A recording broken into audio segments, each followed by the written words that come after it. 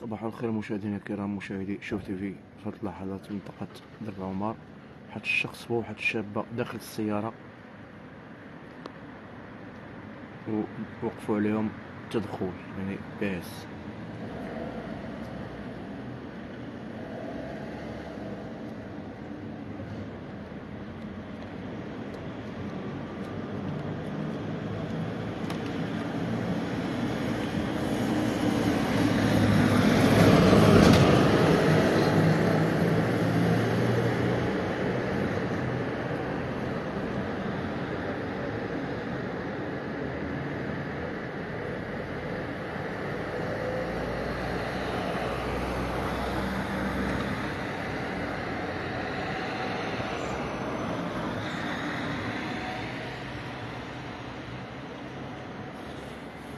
صاحب السيارة البيضاء رفض أنا من وثائق السيارة.